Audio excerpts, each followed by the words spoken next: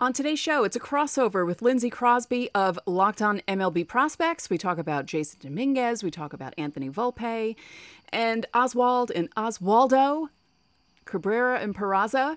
And who else do we talk about? Oh, yeah, that guy, Aaron Judge. It's all coming up next on Locked On Yankees.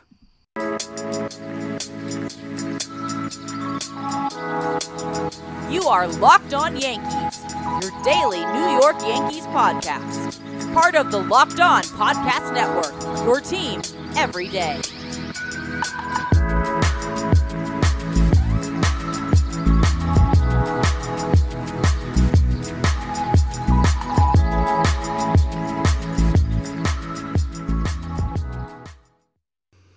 Happy Thursday, Yankee fans. This is Stacey Gotsulias, the host of Locked On Yankees, which is part of the Locked On Podcast Network, your team every day. We'd like to thank you for making us your first listen every day. We're free and available on all platforms, including Apple, Audacy, Spotify, and Stitcher. We're also on YouTube. You can watch and subscribe to us. You can click the thumbs up button, and if you hit the bell, it'll let you know when our videos are live. So, as I said, this is a crossover with Lindsay Crosby of Locked On MLB Prospects. He has a mea culpa about Jasson Dominguez. So let's not waste any time and get into it. It is a Locked On MLB crossover with Lindsay Crosby, host of Locked On MLB Prospects, and Stacey Gotsulias, host of Locked On Yankees. And uh, Stace, I have to apologize to all of your listeners. Uh, last time I was on your show, I, I, I, talked a little shade about Jasson Dominguez, and I, I think I owe them an apology. Uh, has anybody complained to you about that yet? No, surprisingly, no. no one has complained about that yet, which I'm I'm very yeah, I'm surprised about that because Yankee fans like to stick it to people who are wrong about things. Yeah, we talked right before the trade deadline, and I kind of. I, I I had some words for Jasson Dominguez. I think that I I talked about him probably not being as good as we thought he was going to be. And in his defense, when you're compared to Bo Jackson and Mickey Mantle, it's kind of unrealistic unrealistic expectations. But uh, since he was promoted to high A Hudson Valley, he's practically become a completely different player. He's turned it around in just about every single facet. And so I'm eating the crow. I'm coming on your show and I'm saying Jasson Dominguez, while he's not going to be Mickey Mantle, Jasson Dominguez looks like he's going to be a very good big leaguer. Um, so I think I was wrong in writing him off so early. I'm glad that you disagreed with me and you argued in the in the episode that you should not have traded him at the trade deadline. Right.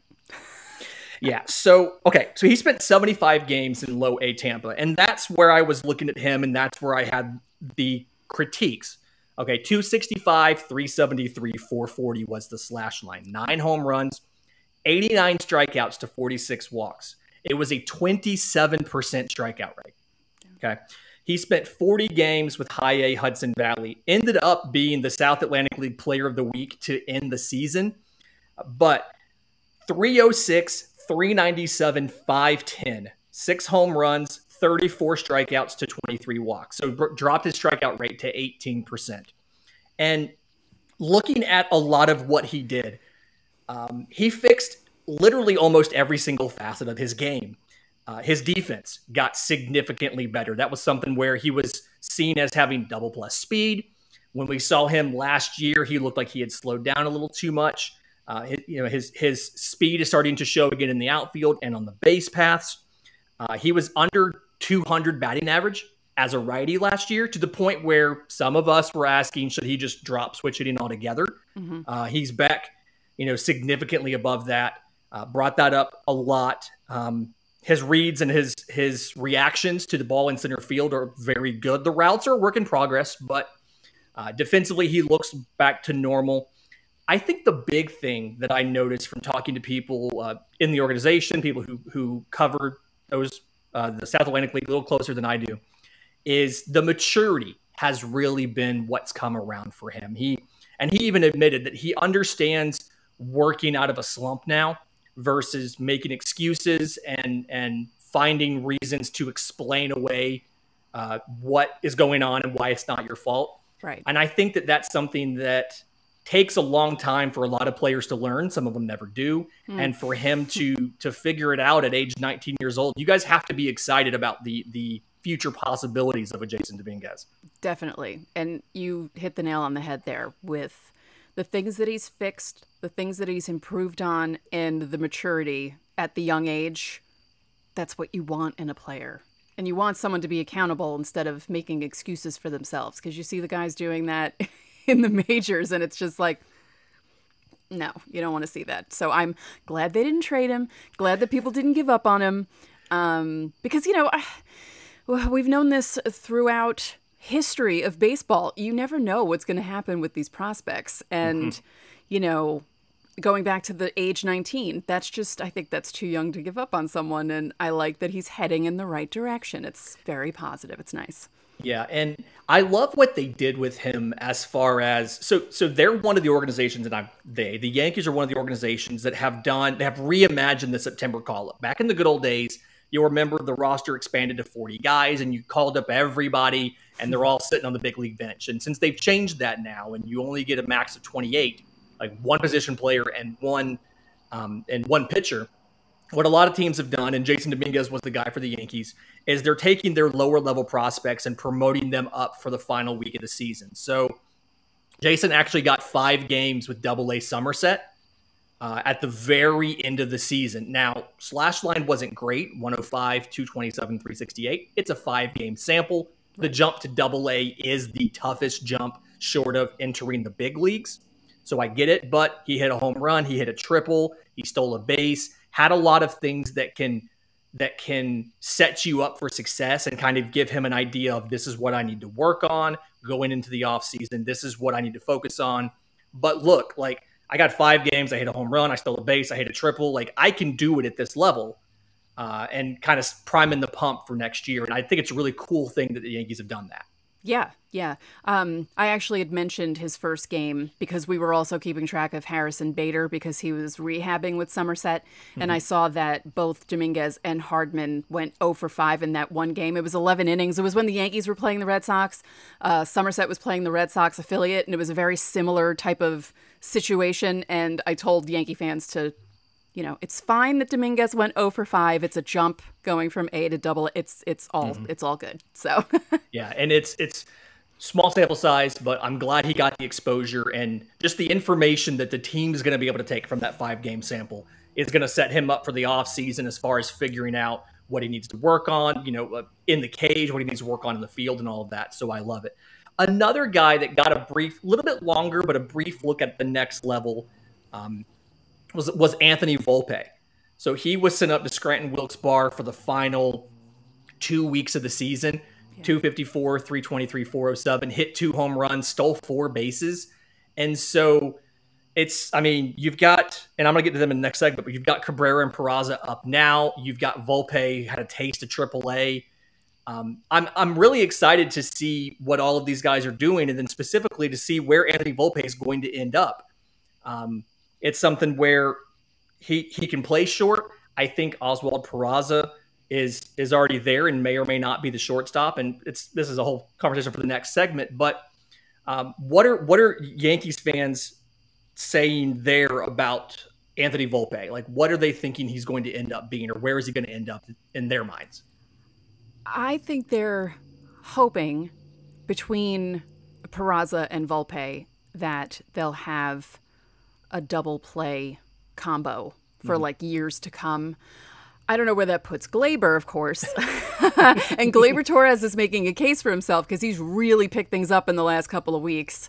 Um, has another RBI tonight, and he's he's really picking things up and making the Yankees have kind of a difficult choice here because you know I think the Yankees were kind of hoping that they would just be able to kind of slot Volpe and Peraza in at some point and maybe not as quickly as they're maybe heading toward because it looks mm-hmm. like it's going to be a lot quicker for those two to be with the Yankees. But yeah, Yankee fans are excited that they didn't give up on any of those guys during the trade deadline, that some of the trades they got done, not that they've worked out that well, but they didn't have to give up that much to get the guys. So yeah, Yankee fans are excited that these top prospects are still around yeah, and doing can, well. Can Gleyber Torres? You think he can play third? Because I'm I'm thinking about Anthony Volpe, and I don't necessarily know if his arm is strong enough to put him at third reliably. You usually want somebody. I, would give his arm a fringe to an average, you know, mm. so a little bit below where you want it to be at third. Is Gleyber Torres a candidate to play third base? Maybe. I don't, I don't know. I don't that's know the, how. That's the tough part. Is you've got three guys for two yeah. spots. I feel like because nobody really wants to take take third. I I think Peraza could do it. Peraza can play anywhere in the infield, uh, yeah. but but I, I'm I'm a little worried that it's almost a waste of him to put him at third, right? Because he's such a good defensive shortstop. You, um, would you prefer Peraza at short and Volpe at second, or? Uh, if I if I had a perfect world, I'm putting Peraza at short. I think Peraza is probably the best defensive shortstop in the high minor. Well, was in the high minors. He's at the big league level now, but I think Peraza is probably the best the best shortstop uh, that you have of these guys of of Cabrera and Volpe and Peraza. And so I'd put Peraza at second simply so you don't have to test the arm. The speed is fine, especially not having the shift next year. It's helpful to to have his range at second, and his bat obviously profiles really well at second. It's just figuring out third plate third base is tough, and you know Torres is around. He's not a free agent until 2025, so you've got a lot of time to figure that out. And uh, and speaking of a lot of time to figure things out, I've had a lot of time to figure out like physically how getting older has changed my body. You know, a little bit of a dad bod here, work, you know, wor- working on some of that. And so I'm glad that our next sponsor has has hopped onto the Locked On Podcast Network. Nugenix is uh, a, a supplement that contains man boosting key ingredients like testo- uh, testofen, and the idea here is this is something that's been validated in five different clinical trials to boost free testosterone levels in men. And because Nugenix Total T boosts free testosterone, that the aging process has been taken away, you'll feel stronger and leaner with more energy and more drive and more passion too. And your partner will definitely notice the difference. So get a complimentary bottle of Nugenix Total T when you text MLB to 231231 so you can text now and get a bottle of Nugenix Thermo as well, their most powerful fat incinerator ever, with key ingredients to help you get back in shape fast. And again, it's absolutely free. So text MLB to 231231. That's MLB to 231231. Terms and conditions do apply. Okay, so we we briefly talked about um, Peraza and Cabrera. Can we can we get on that for a second? because I have I have I have some issues here. um, okay, so Cabrera came up and he's played a lot of right field, which I'm I'm fine with. Uh, it, it's most of your non-shortstop position players or non-catcher position players probably started off at some point in their life as shortstop, so it's fine that he's playing right field. Uh, when Rizzo was out, they had him taking balls at first. Um, I okay. He has that's, a plus but arm. that's in fairness. That's only because DJ LeMahieu was injured. Because if if they were both True. not injured at the same time, they wouldn't have. But I think it's because they think Cabrera can pretty much play anywhere, so they were kind of trying to see if he could. But yeah, that's that's what I was gonna say. Was like when I like I talked about this on on on Locked On MLB Prospects last Thursday, and at that point, Cabrera only had like 91 innings in the outfield, and he was already plus seven on DRS with four outfield assists. And so like, he's already statistically one of the best outfielders on this team. Yeah. As far as like as uh, run prevention and, and outfield assists. And I feel like I mean he he was in right. Now that Bader's back, uh, Judge is in right and and uh, and he, Cabrera's over in left. I feel like I mean, his arm's probably a little wasted in left, but you can't move Judge off of right. Judge is doing fantastic things right now. And so he, he's played second, he's played third, he's played short, he's played right field, he's played left field. Um, so he's spent some time just about everywhere. But Oswald Peraza has not had a chance to play nearly as much, mm-hmm. and I'm mad about it. Yeah, you're not the only one. yeah, yeah. Uh, the last time he started at shortstop was uh, September 17th. Mm-hmm. And okay, so he he gets called up um, on September 2nd. And in my head, I'm thinking about what the Braves just did with Vaughn Grissom. And granted, that was because of injury and they needed him. But Vaughn Grissom is a shortstop. He comes up, he plays second base in the in the wake of the Ozzie Albies injury. Mm. And for the Braves, they get like 45 games of this prospect who they weren't sure if he was ready or not. they get to go out and watch him play every single day against MLB pitching, put him in an unfamiliar situation, and see how he acclimates. Oswald Peraza was called up September 2nd. He's played eight games. And you why are you calling him up if he doesn't get to play? Right. Right. And it's I, I, I don't understand it. And it's so funny because you know, Isiah Kiner Falefa I don't dislike him as much as other Yankee fans do. He he drives me crazy because you know he'll throw the ball from short to first and he double pumps nearly every single time he does it, and he makes some bonehead plays. And there are some plays that he was saved on where the scorer kind of bailed his butt out, and you know Aaron Boone will constantly say things like, "Well, he's one of the best defensive shortstops in Major League Baseball," and everyone listening to post game with a brain is like That's not exactly true. And yeah, I don't know why not. they're. It's not like, okay, it's not like he's a big name shortstop who's playing horribly and they need to protect his ego. This is a guy that they traded for because they needed to, I don't know what, I, please don't get me started on that trade. But he was, he's basically like the um, placeholder for Peraza or Volpe. So and you have the guy that you, you could replace him with just sitting there, not doing anything. And it's like, what are you doing? IK, I, I, Isiah Kiner Falefa's uh, WRC plus is like 86 this year. Mm-hmm. I mean, he is he is 14% below average as a shortstop offensively. Yeah. And then defensively, I mean, you said it, he's not as good as Peraza. And maybe maybe I'm missing something. Maybe he has fantastic chemistry in the clubhouse and everybody loves him and he's the emotional center of the team. Am I missing that? Do I just not see that when I watch on TV? Yeah, I I don't know what it is. He'll occasionally have like like a game tying hit. Mm-hmm. Um, you know, he'll move the runners over in a big way, like every once in a while. But like he always seems to, and it's it's that stupid he's clutch thing. But it's like, yeah, but when, the moments when he's not clutch, he's not that great. Like, you know, it's every once in a while he's clutch, but it doesn't make up for the fact that he's not clutch, you know, 80% of the time. I, I don't understand it. It's why why call him up if you're not going to do anything with him? It's, he's just wasting his time here. Because even last night he was put into the game, or last night, Tuesday night he was put into the game to pinch run for Donaldson, mm-hmm. and you know, yay, he ran around the bases when Stanton hit the grand slam. And sure, it's exciting that they won and everything, but that's all he did in the yeah. game. And it's such a waste of his talent. I feel bad and service time. It's a waste yeah. of his service time. I okay, I'll give you this. I went to Fangraphs and pulled the win probability for Kiner Falefa.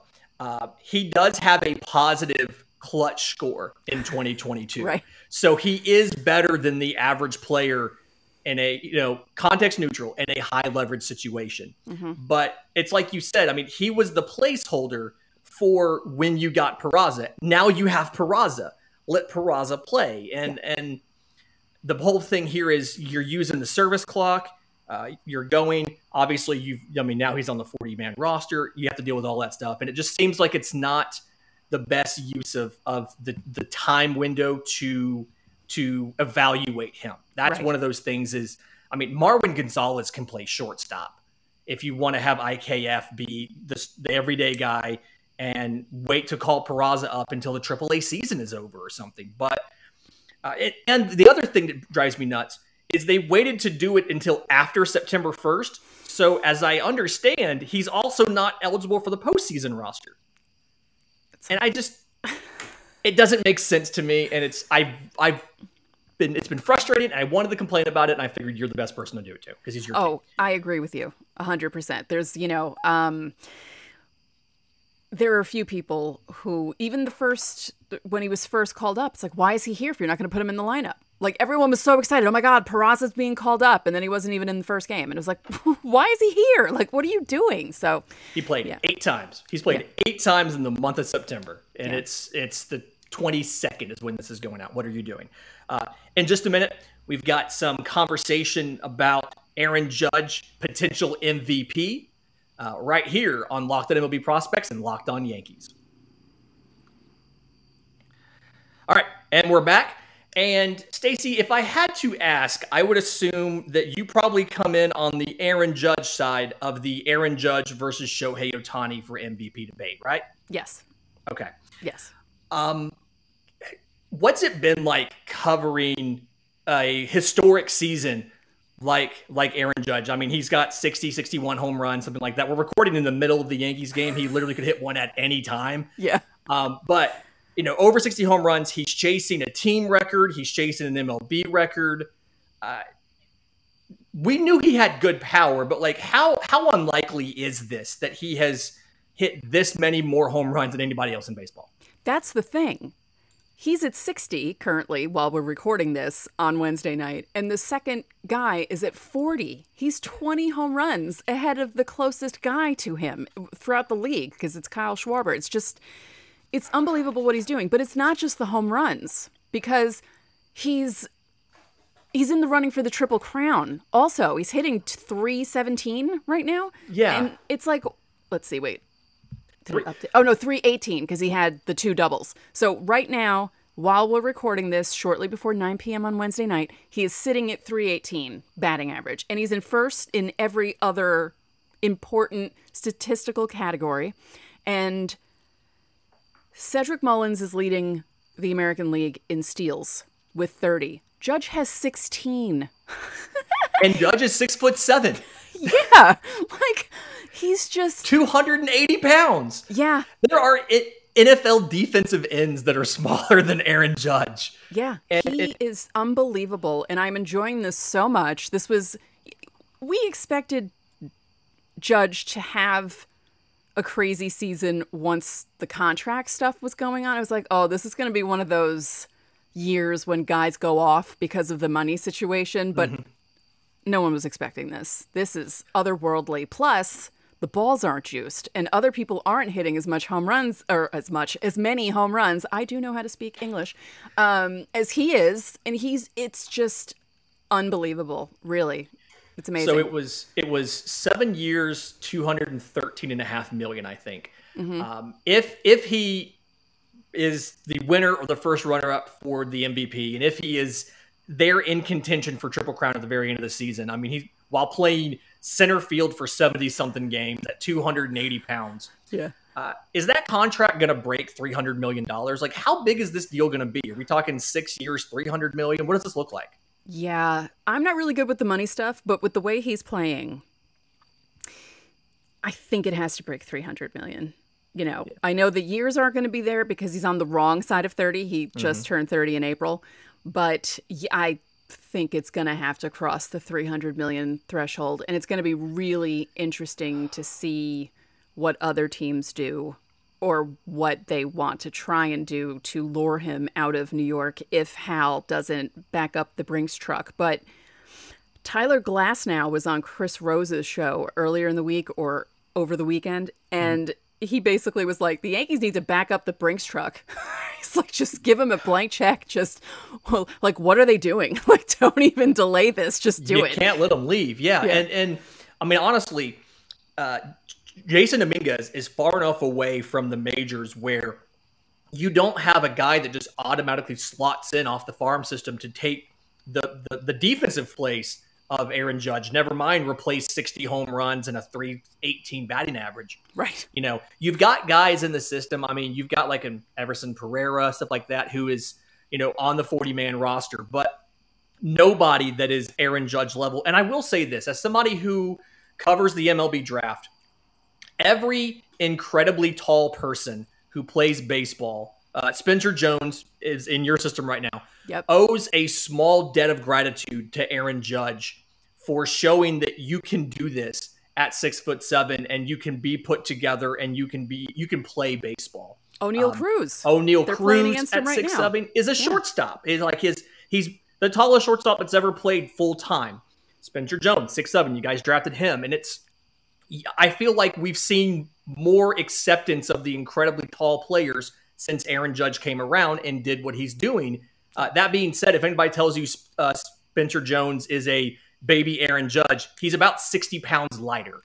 Um, so it's the only reason they think he's they're the same is because they're both six seven. Aaron Height, Jones right. is an absolute uh, freak, nobody can do what Aaron Judge does, just like nobody can do what Shohei Ohtani does. I don't envy anybody with an MVP vote.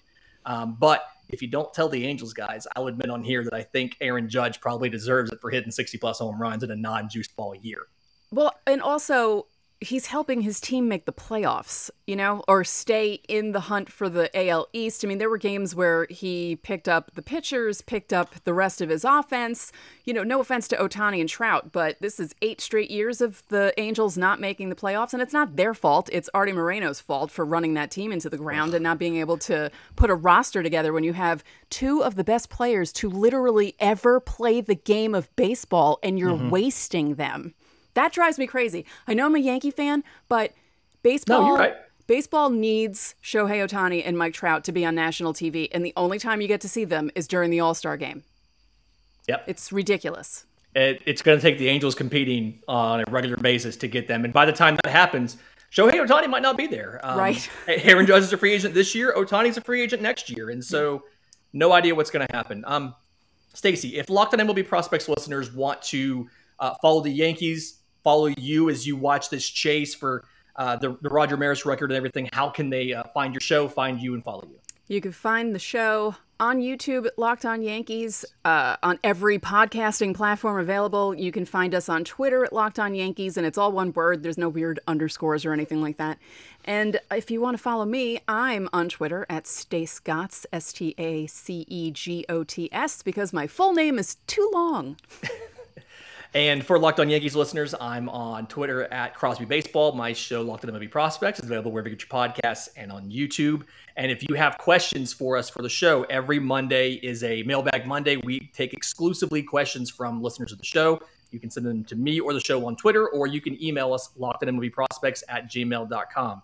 Stacey, thank you for letting me give my mea culpa on Jasson Dominguez.